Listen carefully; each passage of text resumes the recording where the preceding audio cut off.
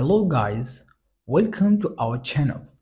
Today in this short tutorial I will show you how to recover deleted passwords from Google Chrome. It's pretty simple. Open the Google Chrome app, tap the three dot menu in the top right corner. Select settings, scroll down and tap password manager.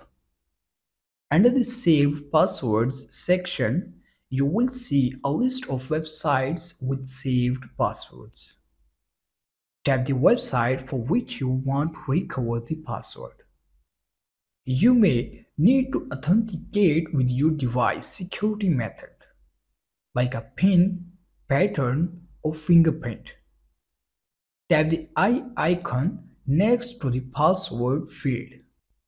The password will be revealed. Make sure to keep it secure. That's it. You have recovered a safe password from Google Chrome on your mobile device. Surely this video helped you a lot.